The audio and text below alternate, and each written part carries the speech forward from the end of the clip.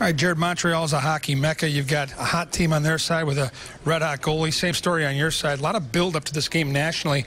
How much does that energize you guys as you hit the ice?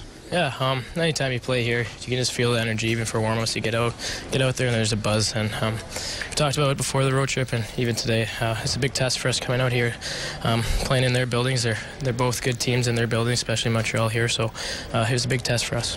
Big part of the win was figuring out how to solve Carey Price. How'd you guys do it three times tonight? Uh, I think just putting lots of pucks on net, and we had a lot of traffic at the start, and um, just trying to get in his face so we can't see passes or or the shot coming through. Penalty kill, once again, a catalyst for your hockey team. You're a huge part of that.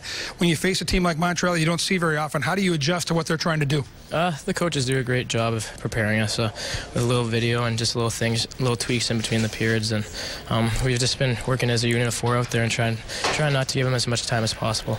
It's only December, but nine wins for your team in a row ties a franchise record. What does that mean to you? Uh, it's a lot of fun right now. I think you see it on the bench and when guys are making plays, not just scoring goals, even blocking shots or just good defensive plays. So we're having fun out there and everyone's smiling. And um, I think as a group, we're just coming together and having fun. If you're going to play game number 400, you might as well do it in Montreal and you might as well score a goal and win. Congratulations. Thank you. Jared Spurgeon continues to get it done for the Minnesota Wild in game number 400. He contributes a huge goal for the Minnesota Wild, who get a big win, their ninth in a row.